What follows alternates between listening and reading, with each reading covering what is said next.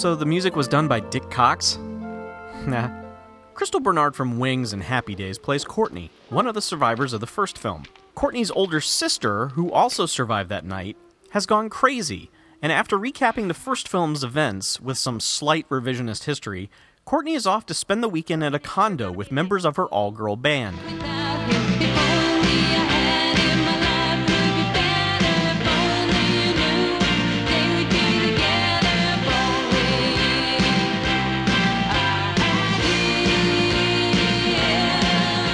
Wow, even shitty garage bands from the 80s were better than what's on the radio nowadays. Yeah, grr, get off my lawn, grr.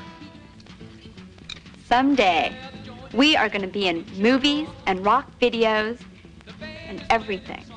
Because my song is going to be a hit. Here, here. Nope, you're basically going to do two more movies and then a 10 episode stint on Dr. Quinn Medicine Woman.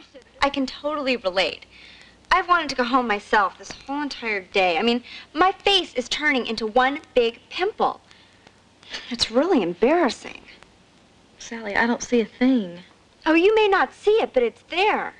There's one. It's just lurking just below the surface. Sorry. It's all right. I can deal with it.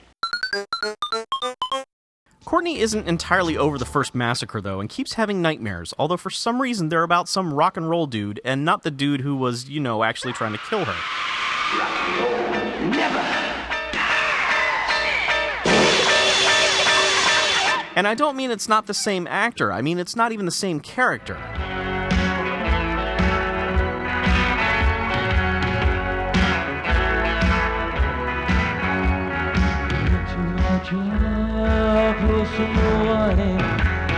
At least this slumber party has synchronized dancing. But even with Playboy Playmates in the cast, it takes over 25 minutes to get to nudity, and even then, it's not the nudity you want.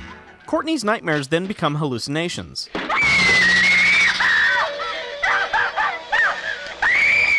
What the fuck? Okay, correction. Ridiculous hallucinations.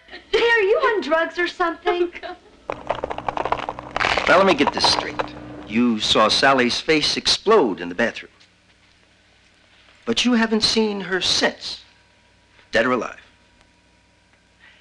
And you think that she's in the trash compactor, but you're afraid to look, right? Yes.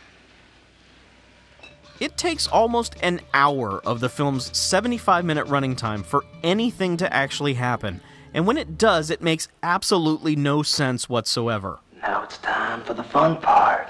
Basically, Courtney's nightmare pops into the real world, becomes Andrew Dice Clay, and starts killing her friends in between musical puns and lip sync performances.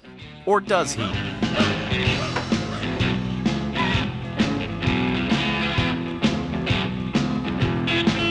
I love to the floor,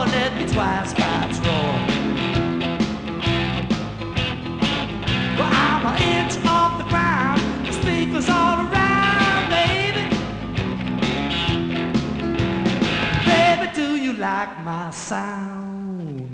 This is the first film this year to actively make me angry. Look, the original was no masterpiece, but at least the simple story was, you know, a story. With a beginning, middle, and end. Things happened in it. Nothing happens in Slumber Party Massacre 2.